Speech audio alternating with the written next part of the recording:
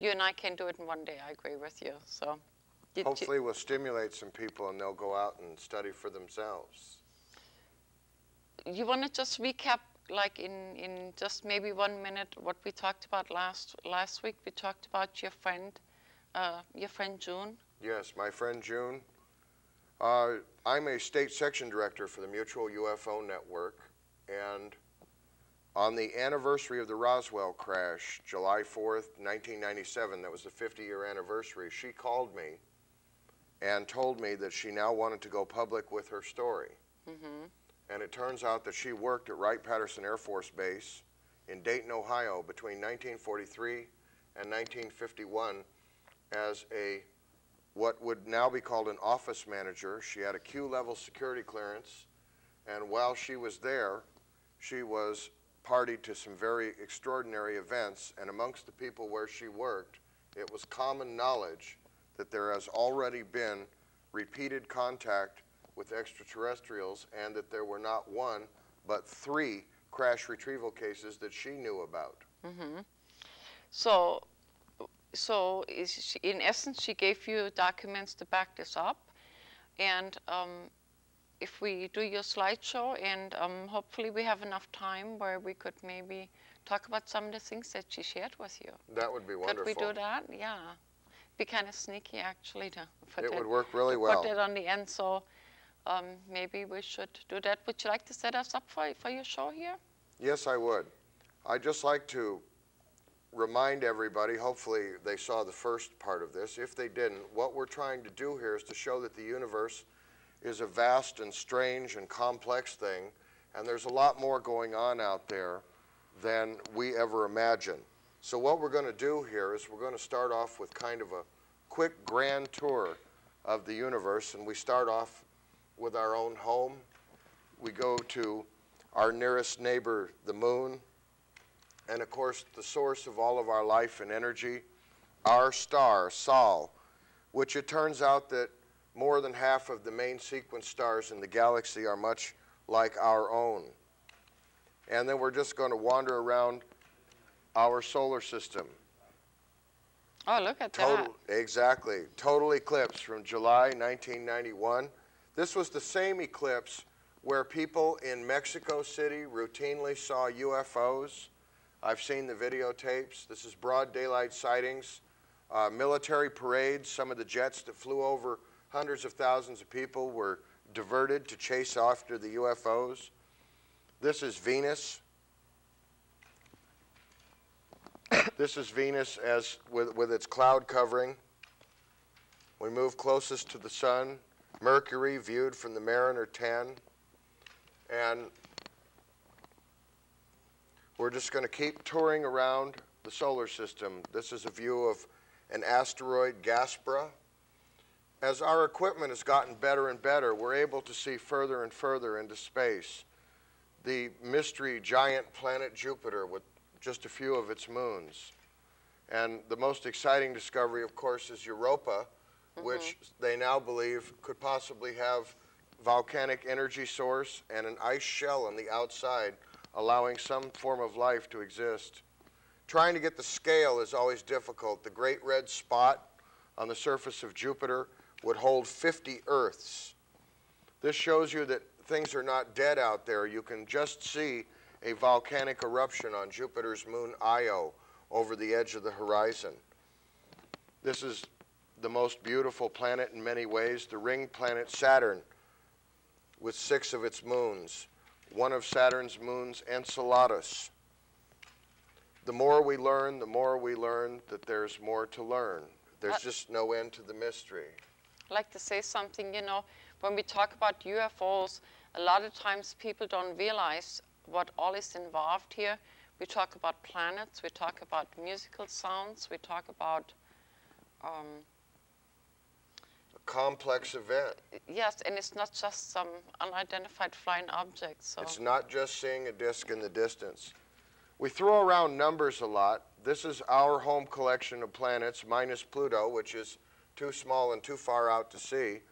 And we talk about billions of things. We talk about billions of dollars, billions of miles, billions of light years even. And I want to just explain, we talk about how much is a billion. Let's say there's a billion stars in this particular slide. If we count one star per second and we never quit and we don't ever take a break, we will count a thousand stars in 16.6 minutes. We will count a million stars in 11.57 days. And if we never ever quit, we will get to our first billion in 31.7 years. And out in space, there are 100 billion galaxies visible. There are approximately 100 billion stars per galaxy, like our own. This pinwheel shape is repeated over and over again through the universe. It's an essential shape. Kind of odd that it looks like a UFO. It also looks like a mandala. It also looks like many other of our most important symbols. There's strong evidence that more than half of the main sequence stars have planets. This is the Pleiades, which is a particular constellation where some people believe some of our extraterrestrial vis visitors originate. If only one out of every million planets has a position and evolutionary conditions like Earth, there are 10 billion planets out there that may be similar to Earth. The Hubble telescope has brought us some of the most extraordinary views. This is why wow. it's great to be alive now. Anyone who can get on the internet can see the deepest views of space. These, interestingly enough, are called starbirth clouds. So everything that exists is being born and being dying in an endless cycle. We see all of these grandiose cosmic explosions, galaxies without end, worlds without number. And so we're supposed to assume just because someone tells us that we're all alone and that all of this glory was created just for a species called man. I find that very hard to accept. This is called a dying star.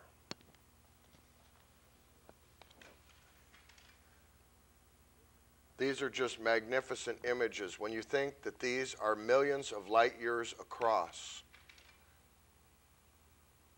In this particular photograph, we see stars being born and, be, and dying. The creation of black holes. Many people believe that black holes may be doorways into other universes, higher dimensions, or there may be wormholes that may rapidly connect us to other parts of the galaxy, which seem extraordinarily far by our limited technology. But to a civilization that may have existed for 10 million years, a civilization that may have survived overpopulation, environmental degradation, and its own battle with its weapons technology, to a civilization that survived all of those things and has gone outwards to conquer the stars, these distances may not mean anything at all. Um, I believe if a person gets into my web page, which is usually at the end of the show, um, I believe some of these pictures can be accessed through the, um, the these are the ones from the Hubble, no? Yes, and, yeah, and you can type the Hubble onto a search engine, mm -hmm. almost any search engine, and you can get extraordinary information, and all of these can be downloaded. Uh, these color slides are readily available in many places. There's never been a better time to tour the galaxy. Yeah, this, you, excuse me. I'm sorry. Mm -hmm. Or you can go to my webpage and just push uh, what's new on Mars, and I believe it'll jump you right in it. That would be perfect. Yeah, so. This is the most extraordinary slide that I would like to certainly direct everyone's attention to. This is where you take the Hubble telescope point it into the deepest view of space, and just like a camera lens, you set it on infinity. And every one of those blobs of light is not a star. Those are all galaxies. Oh, my. Exactly. It staggers the imagination. And they have now proven that there are other planets in other star systems. Not that I think for anyone who's taken a, a look at all of this, you already pretty much know that there are other star systems with other planets and we are not alone. I don't think that's really up for grabs. The question is, have we been contacted? The question is, how long has this been going on? Some people believe it may have gone back way far into our history. But let's get down to a little nuts and bolts ufology. One of the things that we have to be able to do as a UFO researcher is not only to understand what is a UFO, as in something that has a high level of strangeness with a highly credible witness, we also have to be able to know what is not a UFO. And some well meaning people will report routine astronomical objects as UFOs because they've never really looked at the sky. This is the planet Venus next to the moon. These are airliner headlights seen from a distance. This, of course, is a big annoyance. Mm-hmm. This is a hoax. This is a UFO you can make in your backyard. That's a flying peanut butter jar lid. This is an extraordinary photograph. A woman took this in broad daylight of a meteorite coming down. I would just like to point out this is the difficulty of UFO photographs. Having a camera, being in the right place at the right time, and knowing what to shoot. This is a newspaper article. The Air Force lied in 50s UFO explanation to keep spy planes, a secret study says, now made public. Military deceived the public about UFOs. This whole thing is hysterical because, from a perspective of a criminal investigator, I've been around a lot of courtrooms and have testified many times. And one of the things that a defendant should never ever do is to tell the prosecutor or the police, well, I told a lie, but I don't do that anymore. Mm-hmm. Because the obvious question falls out of it when did you stop lying? The other problem with this is the spy planes that they're, they're now identifying as the UFOs that people saw in the 50s or 60s, they can't hover, they, don't, they can't do right angle turns, and what is a spy plane after all? It's a plane that's designed to fly so high and so fast that no one can see it or know that it's there. So are they now admitting that their spy planes didn't do a very good job and all the UFOs that all the people saw were actually their spy planes? Now, of course, this is a stealth bomber. And it does have a rather extraordinary shape if you look at it from an end view. And it's possible that if you saw one of these, you might mistake it for a UFO. In fact, here's one of those mysterious UFOs from Mexico City. So you can see how there might be a similarity, except that this UFO can hover for long periods of time. It makes absolutely no noise, and when it wants to, it can accelerate out of view so fast that it looks like it was never there to begin with. I've seen him do flips. I've seen him dematerialize and play with you. It's, uh, it's incredible. And I, I think it's it because myself. they're, they're hyperdimensional. Yeah. Now, here is the one aircraft that can take off and land vertically. Mm -hmm. This is a Harrier jump jet. Now, the problem with this is if you were anywhere near a Harrier jump jet when it was landing or taking off, you would know it because it would deafen you. Mm -hmm. It has a tremendous ground effect, and those jets scream. This is a diagram. It's hard to see, but this is a aircraft uh, called a hypersonic pulse jet, otherwise known as the Aurora. This just shows you how UFOs are in the news. There's a friend of mine, Peter Davenport. Oh, yeah, I recognize him. He's a friend of mine, too. Yes, he is. Imagine that. Yeah. He's a, a great boon to the UFO community. He runs the National UFO Reporting Center in Seattle and does it on a shoestring budget. He's one of the most dedicated people that I know. This shows you how our friends are out mm-hmm. there everywhere. In fact, I just saw a very cute Volkswagen commercial about UFOs. Technology so advanced it will help answer some big questions. This is a photo that shows where it all began back in Roswell. This is where the big cover-up started. At first they published a newspaper story and said that they had captured a disc.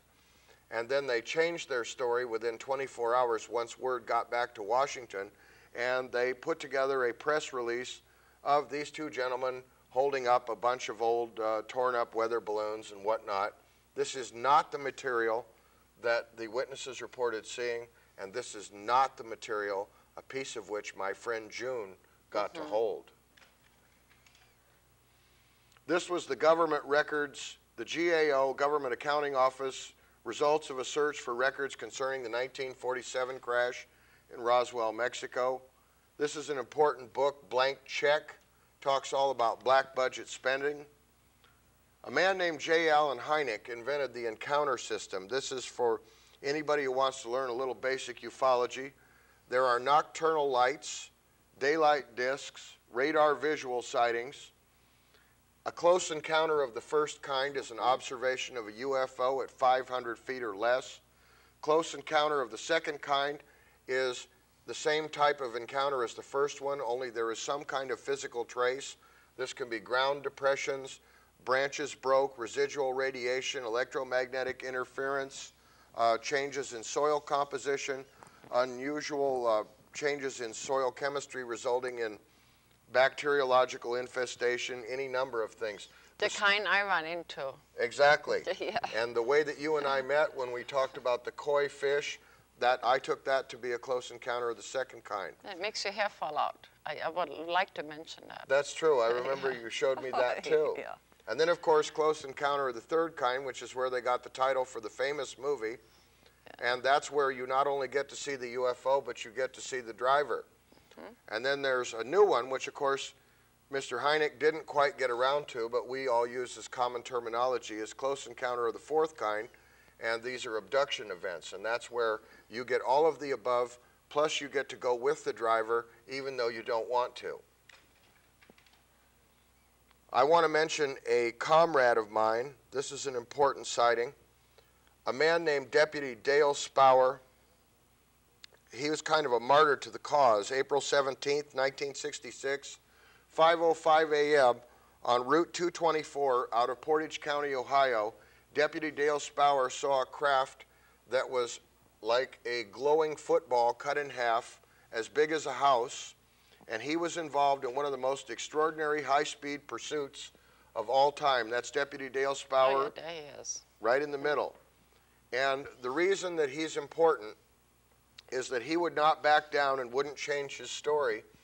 And he stood up to a man from Project Blue Book, a Major Quintanilla, and he just kind of, without even bothering to investigate what all these police officers had seen and what numerous civilians had seen, and all of the excellent circumstances, including the fact that the man on the left in this picture took a picture of a UFO within 24 hours of the deputy's sighting that looks almost exactly like what he described. Despite all of the evidence to the contrary, he said that perhaps the deputy was having a nervous breakdown.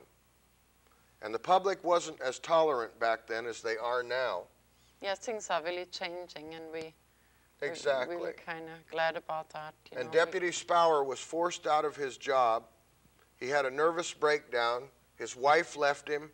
And the last that anybody heard of him, he was doing odd jobs. And I have been trying to find out whatever happened to Deputy Dale Spaur. That's another thing. If anyone who watches this show knows what happened to this poor man, I would like to write the definitive final tribute to him. This is a famous sighting case from McMinnville, Oregon. And one of the interesting things here is that several years later, the same craft was seen near Rouen, France, and another photograph was taken of almost the same thing. This is not the greatest print, but the UFO appears in the upper part of the photograph. Pro- even Project Blue Book, which was highly skeptical, said this was one of the UFOs they were unable to dismiss. This just shows you how you analyze a UFO photograph. You may take uh, solarized pictures, assign color values, look for strings, paste ups, and of course, with computer technology, admittedly, the possibilities of fakes are even greater. This is a UFO shot from a South American research vessel with a close up insert. January 16, 1958. Near the island of Trinidad. This is a UFO from Brazil.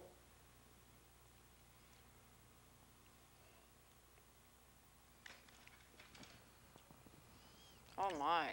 Exactly. One of the important things to consider is that people do not just see classic saucers. Exactly. Yeah, They I, see many types of craft. I have pictures of cigar-shaped crafts that we took uh, in Utah. Yeah. The triangles are a very mysterious and important part of the UFO scene in this day and age. People are also reporting acorn shaped craft. Yeah, the, the, the cigar-shaped one, you see it there? Exactly. Yeah, and we, we got that in the daytime, by the way, accidentally. Yeah.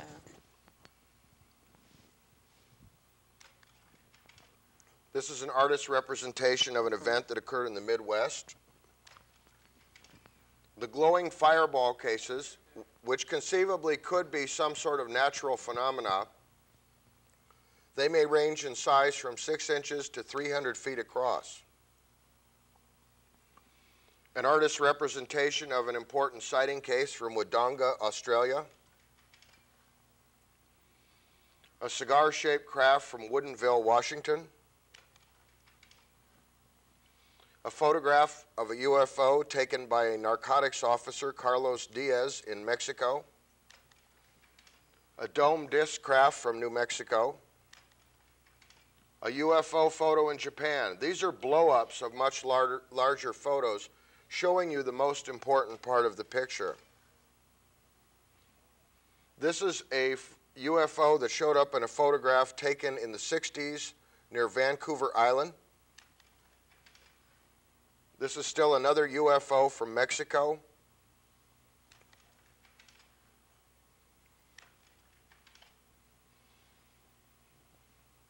I want to mention here a friend of mine, an FBI agent, and he told me about his brother who was a United Airlines pilot who had an encounter almost exactly like this while he was on a domestic flight over the United States under ideal weather conditions.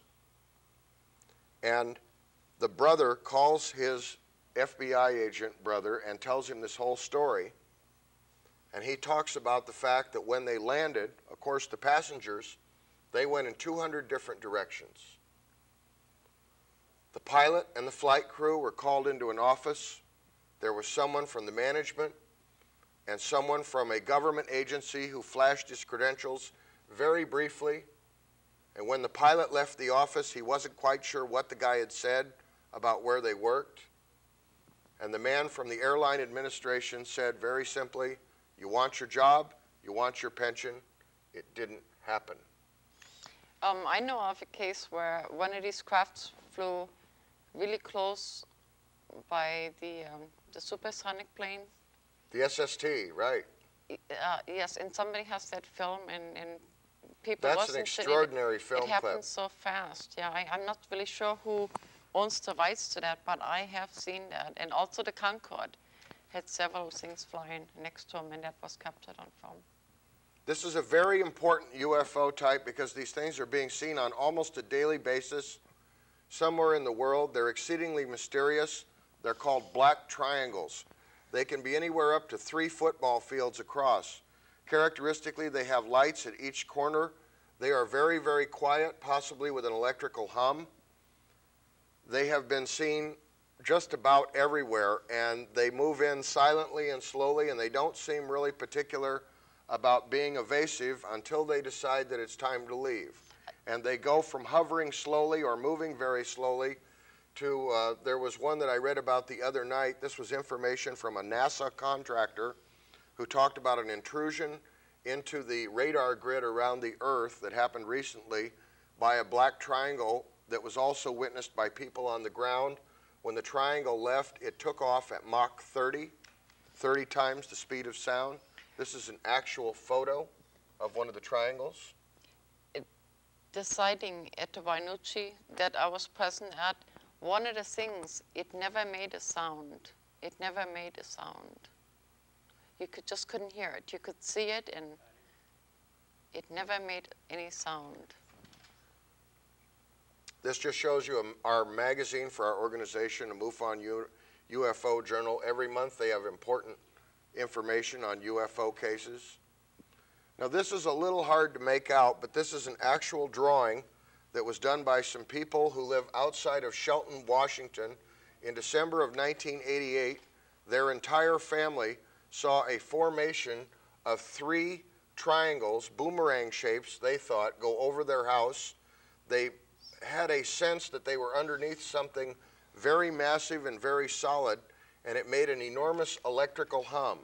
There was no ground effect, and when the lead object went over their house, it was shining a searchlight of some sort down onto the ground. And it makes it really interesting when we talk about local people, place people and places that we, we can relate to, you know, living in this area. Exactly. And um, Well, we have an important UFO heritage right here in the Northwest. And everybody in this family drew me pictures. it's some, This is the wife's picture of the same diagram, the same craft. Uh, Thi- excuse I'm me, and, and for the friends in Anchorage, uh, Shelton, Washington is uh, how far east would you say of, It's probably, Olympia? it's north and west of Olympia, I Oh. believe. Yeah, I am backwards again. I was I was going east as usual. I'm just. I'd say, I, I believe about 30 miles, 30 some miles Yeah. approximately. That's where Shelton, Washington is located. My own area down in Grays Harbor County, November 25th, 1979, I investigated a crash retrieval case. And this is the actual headline from the Aberdeen Daily World UFO wreckage in Elk River from November 25th, 1979. It stopped traffic in both directions on the Elk River Bridge. One man went hysterical and drove to the local police station in Westport. This is the second newspaper story Air Force interested in UFO and there was a final newspaper story. Search called off for UFO. I went back and interviewed all of these people who saw this object coming down, and that was just part one of the story. The second part were all of the witnesses, many of whom were in law enforcement, who actually saw the military come down and seal off the logging roads. One man who is now a logging executive almost got into a fist fight with two soldiers who kept him from going to work that day. He didn't know anything about UFOs, couldn't care less about something crashing, but he just wanted to go to work. And the soldier said, Oh no, we're doing maneuvers here. What's interesting, how often does the Army come down and do maneuvers on private property? I've met some of those people uh, under other circumstances, and that that came up. This is an artist's reproduction from a famous case in Pirassununga, Sao Paulo, Brazil. And a man named Tiago Machado reported being injured by a beam of light. There were also associated mysterious power failures. These are pictures of the actual ground impression marks that were located by government officials who went out to investigate this very